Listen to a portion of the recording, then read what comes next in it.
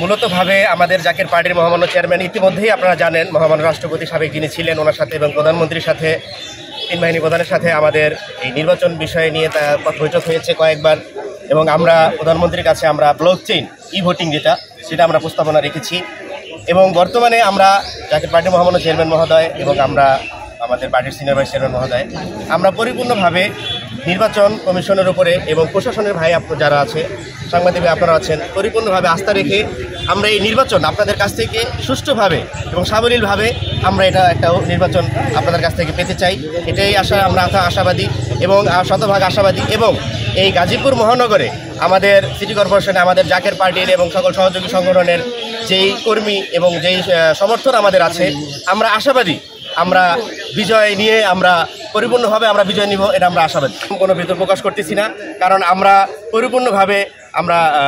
আমরা যে যতটুকু আমরা আইনের ভিতরে যতটুকু প্রচার প্রচার আমরা সেভাবে করতেছি, এটা আপনারা সকলেই জানেন যে মানুষ এখন নতুনত্ব চায়, সকলেই চায় যে নতুন কিছু আসুক, ভোটার এবং আমি যেহেতু একজন যুবক, সুতরাং আমি গাজীপুরে ম্যাক্সিমাম ভোটার হচ্ছে যুবক, আমি সকল যুবক ভাইদেরকে আমি বলব এবং তারাও আশাবাদী যে একজন যুবক যদি আসে, তাহলে এই গাজীপুর সিটি কর্পোরেশন একটি আদর্শের নগরী হিসেবে গড়ে তুলতে পারব।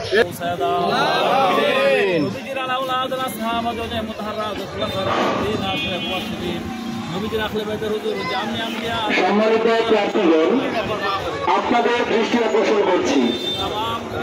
যারা এখনও মনোনয়নপত্র দাখিল করেননি,